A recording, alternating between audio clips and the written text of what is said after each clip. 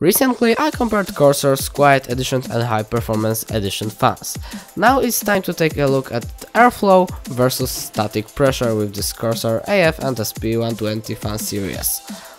Unboxing both of the fans we find the same stuff, which is obviously the fan itself, as well as these two color rings, red and white, instead of only the blue one we have on fan from the beginning.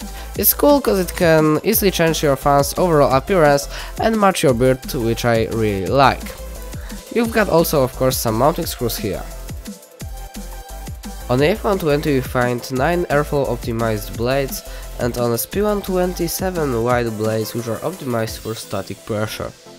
Both of the fans feature this rubber mounting system which allows to prevent unwanted vibration in noise in your case. Both of the fans feature as well some branding at the center part where the motor is located. So without wasting any more time, let's get to the testing of these fans.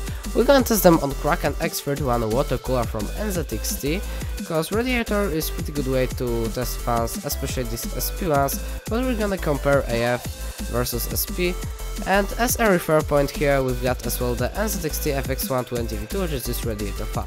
Taking a look at the silent mode, we can easily see that SP120 wins here in the silent mode everything.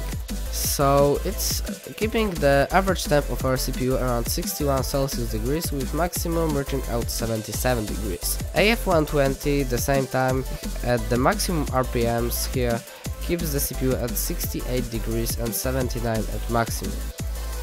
And what is disappointment here is uh, NZXT FX120 V2 fan because op radiator optimized fan for their own radiator should perform much better than it does here. But keep in mind that it worked only on 1000 rpm Quiet Edition SP120 spins up to 1450 but here it was working around 1100 so it still beats NZXT's fan mm, a lot and is much much more silent.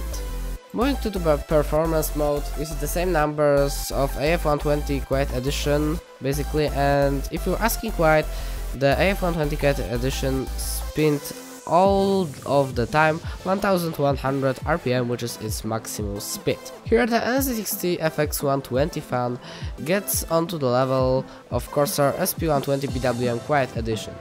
And SP120 PWM was spinning here around its maximum while the NZXT fan was spinning around 1500 rpms which is a little bit more than this SP120 and we're still getting worse results actually but they are pretty similar here.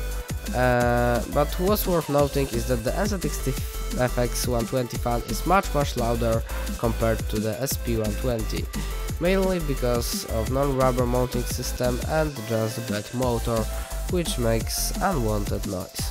The most fair test here is 1100 RPM fixed, cause that's the level that all fans can keep, while because the AF120 is maximum 1100 rpm.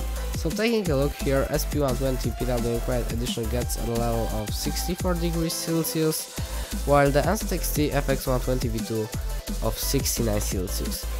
And that's a pretty fair test, so you can see that Corsair keeping quietness easily on its almost maximum RPM, easily beats this NZXT FX120 fan for 5 Celsius degrees.